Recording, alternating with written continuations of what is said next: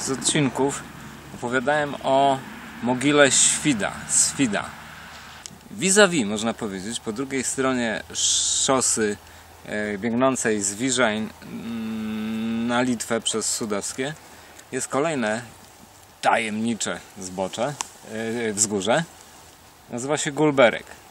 Taka niepozorna górka, którą tutaj widzimy. No i właściwie faktycznie nic, nic w niej specjalnego nie ma, poza tym, że no, są, są domniemania, że yy, yy, była stanowiskiem jakimś mieszkalnym Jaćwingów. W tej chwili tutaj jest łąka, pastwisko i na górze widoczne są ślady krów. Ja nie wiem jak one to robią, że tam wchodzą na tą górę, e, no ale, ale są.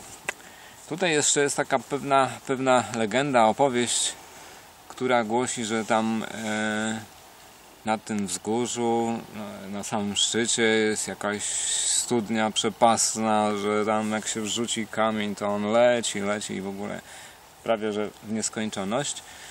E, przyznaję, że nic takiego nie stwierdziłem. Jeśli na wzgórzu Gulberek żyli i mieszkali kiedyś Jaćwingowie, to tego życia nie mieli łatwego.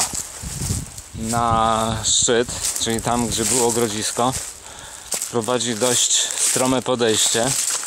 Spróbujemy tam wejść i zobaczyć, jak to wyglądało y, od góry.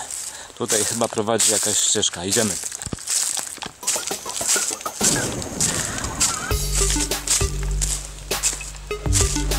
Wzgórze jest wysokie, ale podejście jest dość strome. No oczywiście setki lat temu zapewne wyglądało to zupełnie inaczej. Nie było tylu krzaków, być może, a może były, żeby maskować, trudno powiedzieć.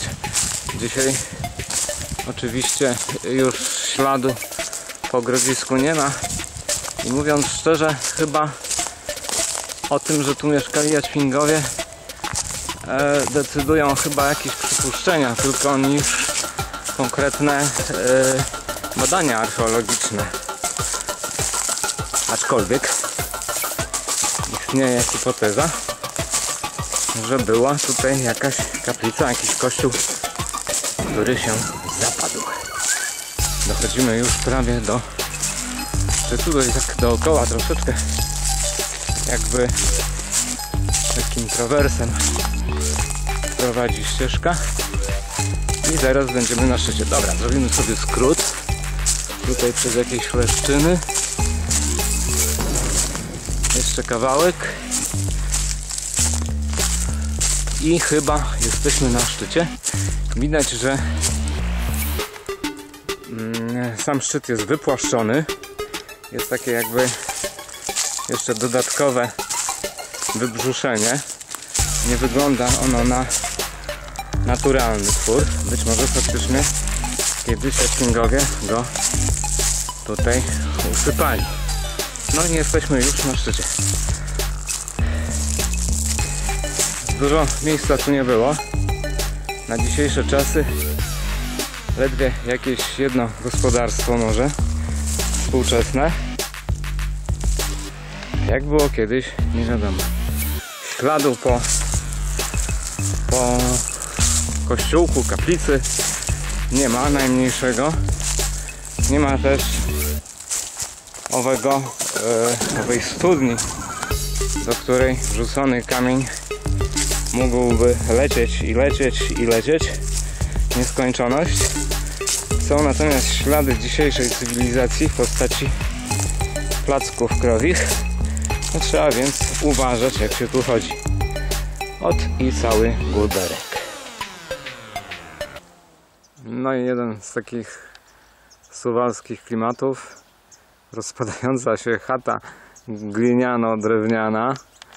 Do połowy gliniana, pewnie tutaj jest część mieszkalna.